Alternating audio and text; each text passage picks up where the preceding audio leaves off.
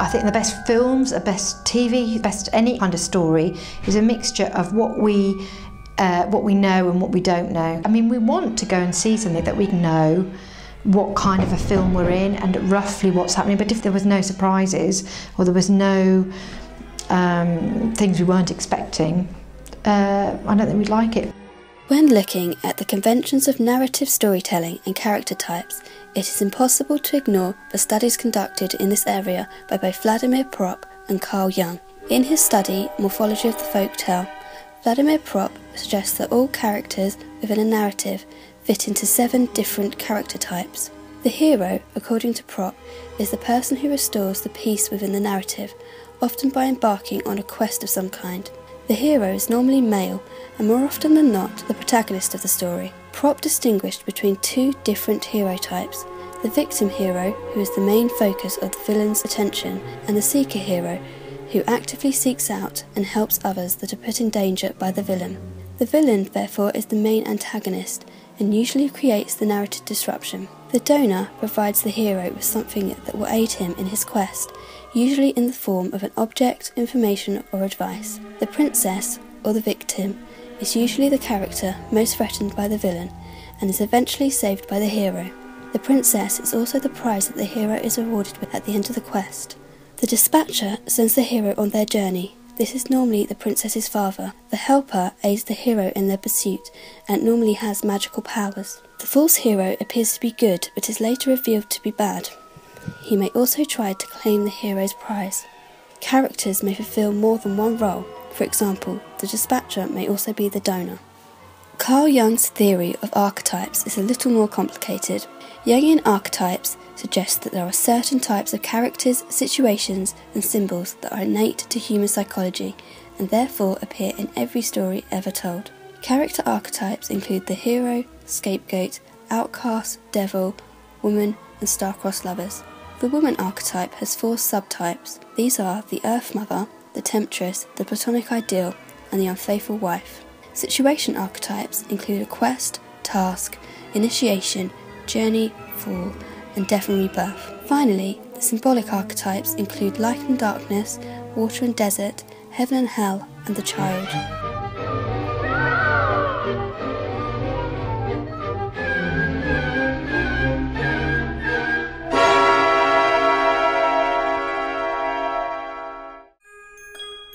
In traditional fairy tale narrative, the female characters seem passive and more objects to be won than characters in their own right.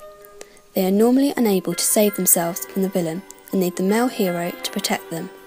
In these tales, women are shown as the weaker sex. With Harry Potter having a female author, it would be reasonable to assume that the series would include many strong female leading characters. However, the main protagonist and the hero of the story is Harry Potter. In fact, the most powerful wizards of all time, Dumbledore and Voldemort, are male. Does this suggest that J.K. Rowling has fallen back on a tried and tested formula, or are there female characters within the series that are equally powerful? Most of the older tales in the early part of the 20th century are patriarchal. In other words, we could just bluntly say they, they tend to be somewhat sexist. All decisions or actions that are, are generally determined by men. They reflect the general thinking of all societies, and most societies in the world, even today, tend to be dominated by men and show women as being more passive than active. Uh, however, that's not true in most of the folk and fairy tales that were being told in the 19th century. It's just that, uh, for whatever reasons, tales that sort of uh, reinforce patriarchal notions are the ones that we have been carrying forward. Uh, there are many, many contemporary literary fairy tales written by women and some by men, in which women are uh, represented as much more complex. So it's misleading to think that uh, all the tales tend to reflect women as being comatose, passive, and just waiting for a prince to save them. There are many, many tales in which uh, women are very, very much determine their own fates and sometimes the fates of their husbands. I mean, 80% of screenwriters are men as well, um, so I kind of think those things matter. who's telling the stories, who's creating the, the myths in the first place and analysing the myths in the first place. And actually, I think that that's a rather limited range of what it is to be a female. And I think that the women are much more complex than, than that would suggest. Most of my main characters are women or girls. That's just because I'm a woman. I would naturally write a main character who's a woman. After looking to see whether Propp's theory is applicable to Harry Potter, it appeared that many of the characters fit into at least one of the seven character types outlined. For example, Harry is the victim hero, Voldemort the villain, with Hermione and Ron as the magical helpers. Furthermore, Dumbledore is both the dispatcher and the donor by sending Harry on his quest and preparing him by providing the information and objects that will help Harry defeat Voldemort. Sirius, Lupin, and the Weasley twins also fit into the donor character type. Wormtail is the false hero who is thought for years to have died heroically. If taken literally, Ginny can be seen as the princess, however, the prize could be the freedom of the magical world.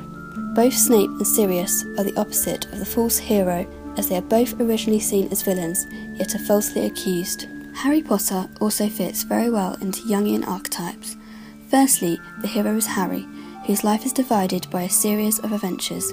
Harry also fits into the role of the outcast as he fails to live to the anti magic values of the Dursleys. The devil figure is defined as evil incarnate, and Voldemort fits into this perfectly. As for the scapegoat, both Snape and Sirius fulfill this characteristic, whose deaths mark important turning points in the narrative. Mrs. Weasley embodies the Earth Mother, who is a symbol of fertility with her eight children and provides spiritual and emotional nourishment to Harry. The Platonic ideal is Harry's mother, who provides inspiration and the spiritual ideal. She also represents, along with Harry's father, the dead ideal. From the research conducted, it is apparent that conventional linear narrative stories, such as Harry Potter, appear to fit the ubiquitous structure that is outlined by both Propp and Jung. However, these sets of characteristics cannot be applied to all narratives. Game of Thrones and Breaking Bad, for example, are problematic to both Propp and Jung's theories as the characters are more complex, failing to fit into the character types as easily and by using multiple parallel narrative plotlines.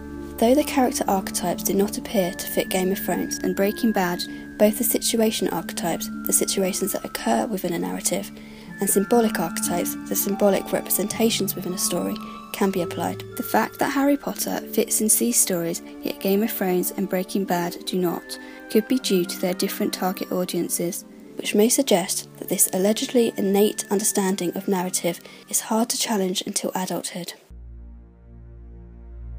Whilst both Propp and Jung's theories appear to fit into most narrative, some may argue that they are also quite limited, with narrative being far more complex than these theories suggest.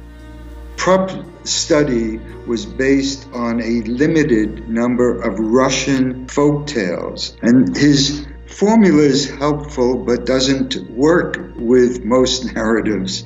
It's, it's helpful only in the work that he studied. They are, uh, from a structural point of view, helpful because there, there are many plots that uh, resemble the outline that Propp developed. In other words, if you went to Africa or if you went to Asia and so on, you would see that some of the uh, structural components in Propp's morphology of the folk tale may work, but only on a limited way. And the same thing is true with Jung. Jung has no idea what he's talking about for the most part, because there's no such thing as archetypes and the collective unconscious throughout the world. We're very, very different humans. I mean, we, we all stem from a particular human species, but we react to the world, to our experiences in many different ways. I think um, that Propp is interesting in that the initial sort of thoughts that he has about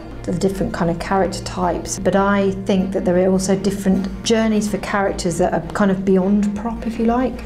Um, so I think a character could have a quest but there could be a character that is a, has a romance storyline and I don't think that quite fits so easily with with the Propp idea of the hero's journey. I think um, that there is a there is a sort of parallel sort of to the hero's journey, but they're more a bit more specific to the genre that you might be writing. So a hero's journey in a romance would be quite a different proposition from a, a hero's journey in um, a crime thriller. So it's kind of how do you apply those particular things to something that's more about a genre.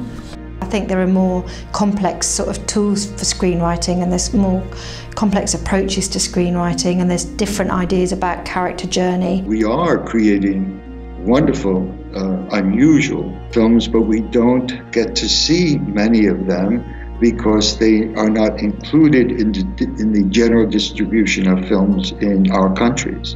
And, and these films are very exciting because they do show alternative ways of, uh, of uh, viewing problems, of, of conflicts in, in society. It's an exciting time if one learns how to look for the new films that are really innovative. And there are many out there right now, many. From this study, it would suggest that though both Propp and Jung's theories are useful in gaining a basic understanding of narrative structure, in reality they are both extremely limited and only appear to fit into generic Hollywood style forms of storytelling. From this, it would seem that not all narrative from around the world follows a universal pattern for storytelling, with many stories featuring different characteristics from those which Hollywood is accustomed to. However, it does appear that filmmakers and storytellers within the Western world have begun to acknowledge this narrative pattern, starting to play around with the structure, creating more innovative, exciting, and unpredictable stories. This therefore could suggest that though Jung and Propp's theories may have been applicable to stories at the time, modern storytelling has moved on from them, making them both less relevant to narrative today.